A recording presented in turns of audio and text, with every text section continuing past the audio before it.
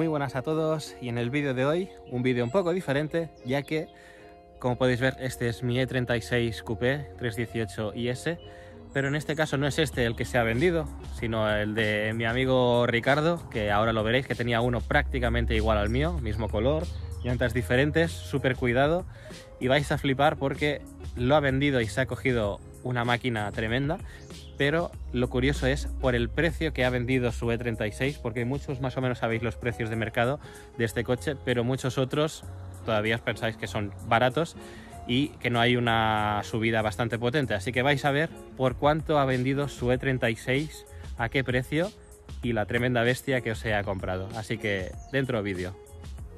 Hola, muy buenas, ¿qué tal? Soy Ricardo, ya me conocéis algunos por el vídeo de mi BMW E36 318 y ese que colgamos en el canal de Mark, igual que el suyo.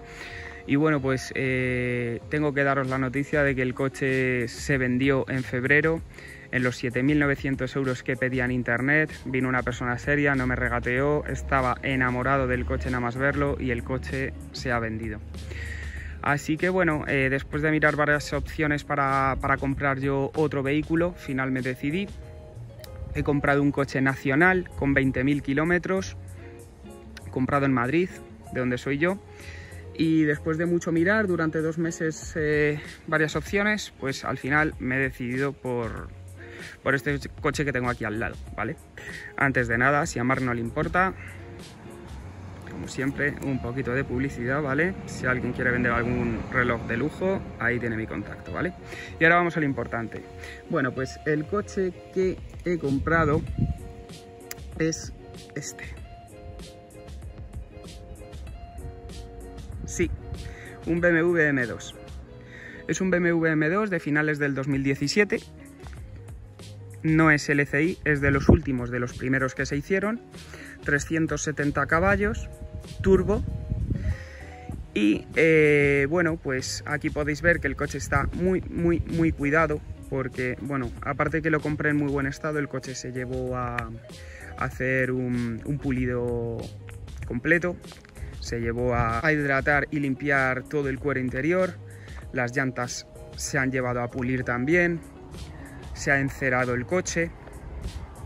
Y bueno, pues es un coche que siempre he soñado con tener un M, y pues me he querido dar el capricho y estoy muy contento, la verdad no lo dejo tranquilo el coche.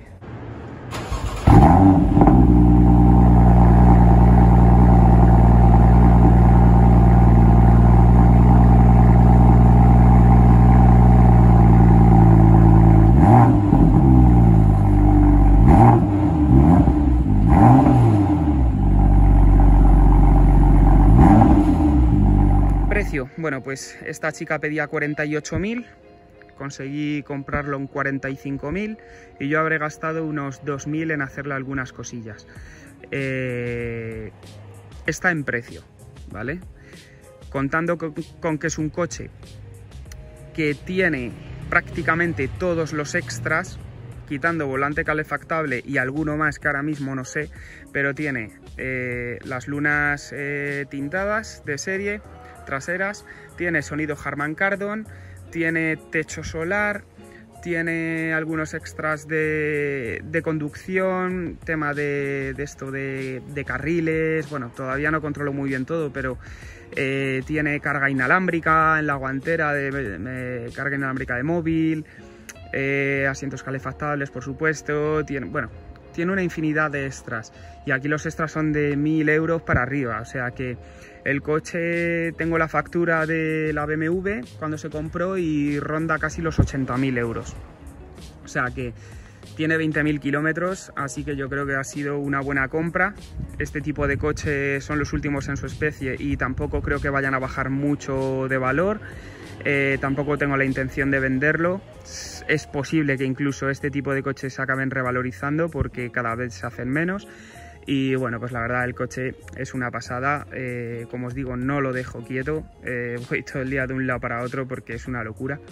y me tiene enamorado.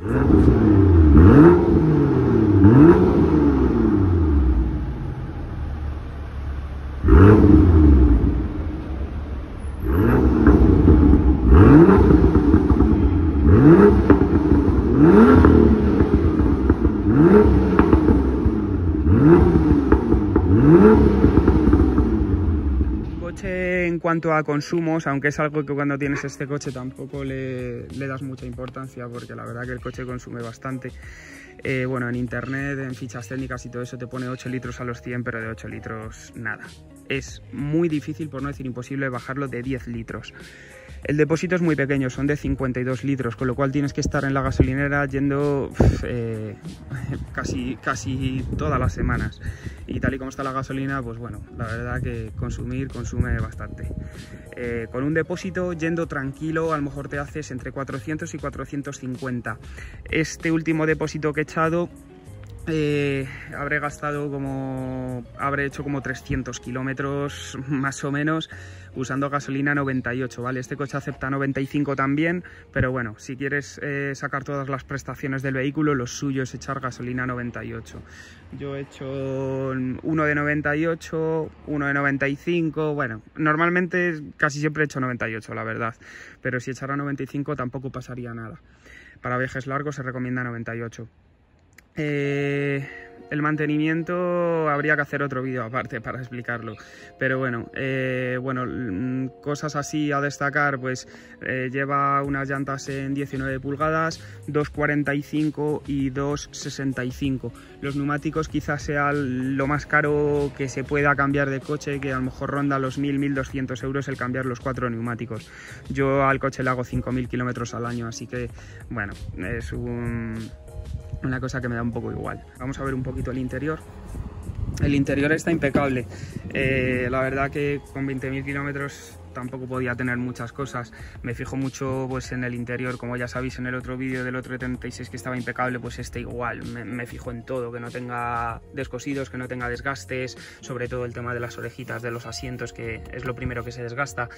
Eh, las alfombrillas eh, nuevas, la verdad que el coche está, está impecable, o sea, está muy muy bien. El sistema iDrive es muy cómodo, es un sistema bastante intuitivo, es muy fácil de manejar y en, 10 minutos te has hecho con él. Yo que vengo de coches antiguos, mm, digo, esto no lo voy a usar en la vida y la verdad que ahora mm, estoy súper contento. Reproduce todo tipo de formatos de vídeo, te puedes ver películas, puedes ver todo y claro, con el sonido Harman Kardon que tiene de extra, que tiene 12 altavoces integrados debajo de los asientos laterales, o sea, el coche suena que es una bestialidad, es una discoteca. Eh, el cuero es cuero Dakota, es un cuero bastante durito y resistente. Y, bueno, pues hay que mantenerlo, como todos los cueros. Eh, limpieza y hidratación. Eso en, todos hay que, hay que, intentar mantenerlo lo mejor posible para que no se deteriore, no raje, no, no se reseque. Eh, ¿Qué más cositas os puedo contar así por encima? Bueno, lleva cambio automático de caje, es un cambio de doble embrague. Muchos eh, puristas lo preferían manual, imagino, lo preferirán manual. La verdad es que yo en coches ya de una determinada potencia me da un poco igual que sea automático que manual, porque además este, este eh, cambio me parece de los mejores cambios que se han hecho. O sea, el cambio de caje es que te mantiene las revoluciones arriba con el doble embrague y, y bueno, tienes leva eh, la verdad que es una pasada. O sea, el coche te transmite unas sensaciones increíbles y, bueno, hay que, hay que subirse y darse una vuelta para, poder sentirlo y saber lo que es ponerse de 0 a 100 en 4,3 o 4,5 segundos, creo que se pone que es una bestialidad. Son 370 caballos, el Competition son 410. Eh, entre este y el Competition cambian algunas cosas estéticas, tampoco muchas, y bueno, pues la verdad es que me daba igual uno que otro, sinceramente. Este lo veo un poquito más, a lo mejor, más, más de paseo, ¿no? El otro tiene los asientos un poco más deportivos. Yo particularmente me gusta más un coche de paseo que tan deportivo. Eh, la rejilla delantera también cambia, los riñones y alguna cosita más. Eh, pero bueno, como os digo, me da un poco igual uno que otro. Cogí el primero que apareció y la mejor unidad que pude ver. Eh, las llantas también se han restaurado, las llantas están bastante chulas. Siempre he sido de llantas BBS, RC. Bueno, yo vengo de la vieja escuela, entonces me gustan los, coches eh, con llantas viejas, pero la verdad que, me gusta bastante este tipo de llanta. Le queda muy bien a este tipo de coche, vamos. El coche tiene unas líneas muy bonitas, es lo que más me enamoró del coche. Esas caderas ensanchadas para, que entren estas ruedas, esos pasos de rueda. Eh, se ve que no es un Serie 2 normal, o sea, es un Serie 2 pero mm, vitaminado, es un Serie 2 ensanchado, gordo. El coche se ve por detrás y es gordo, o sea, es el culón lo llamo yo. Eh, esas cuatro con las de escape que quedan muy muy bien, ese sonido que tiene. Y luego tiene cuatro modos de conducción, perdón, tres modos de conducción. Confort, tiene Sport, que el coche suena bastante más el escape y, puede subir un poquito más de revoluciones. Y luego tienes el Super Sport o Sport Plus, que eh, quitamos todos los controles y bueno, pues ahí ya es un coche para jugar en circuito, ¿vale? En carretera no lo recomiendo mucho. Así en líneas generales, pues eso, este es mi nuevo vehículo y ya os digo, estoy muy muy contento, además el color lo quería negro, pero no me arrepiento nada de comprar este coche porque, o sea, este color con este coche con este color porque las tonalidades que tiene según los cambios de luz eh, son muy bonitos. Este azul, la verdad, es un azulito turquesa así eh, metalizado que es precioso creo que se llama Long Beach Blue, si no me equivoco. Y la verdad es que es un color que llama mucho la atención. La gente pues, eh, ya me miraba cuando iba con el E36, pues con este incluso más todavía.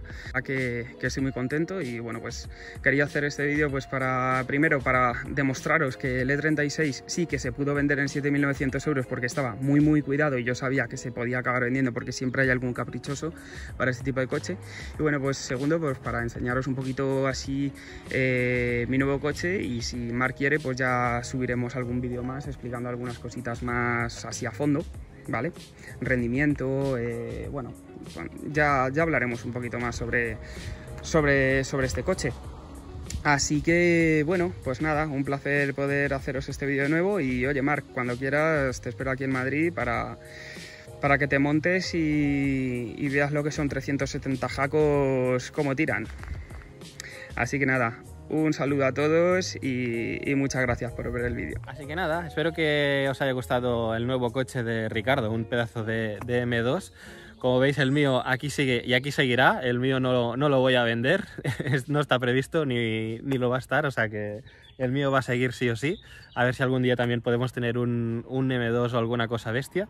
Y poco más, si os ha gustado el, el vídeo, pues ya sabéis, dejaos un like suscribiros por aquí debajo y nos vemos en el próximo vídeo. Un saludo.